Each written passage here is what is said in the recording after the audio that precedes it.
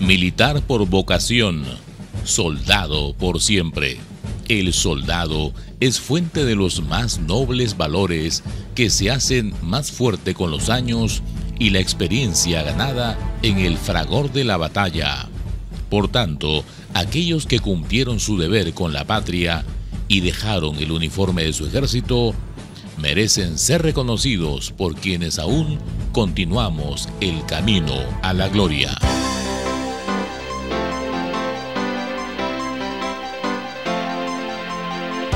Quienes integramos el glorioso ejército del Perú, tenemos la obligación ética y moral de respetar a quienes nos precedieron, aquellos valerosos hombres que cumplieron su noble misión dentro de la institución y ayudaron a escribir con letras de oro la historia de nuestra nación. Ellos nos legaron su herencia de deber, honor, coraje y valor y estuvieron siempre dispuestos a dar su vida en defensa de la patria y su bandera. Hoy, por mandato de ley, dejan el uniforme de la patria, pero siguen siendo soldados defensores del Perú. Sea cual fuera el rango con el que pasa a retiro, ese es y será siempre el militar que todos respetamos.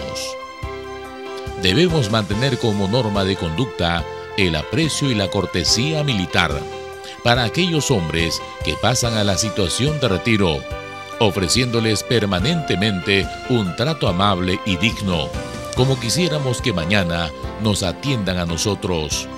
Nuestra institución, a través del Comando de Personal del Ejército, trabaja arduamente en la gestión de entrega de todos sus beneficios en los plazos establecidos de acuerdo a las normas y directivas vigentes. Respeto, tolerancia y trato digno para los que vistieron el uniforme de la patria y lo llevaron con honor, lealtad y patriotismo. Ser soldado es para toda la vida.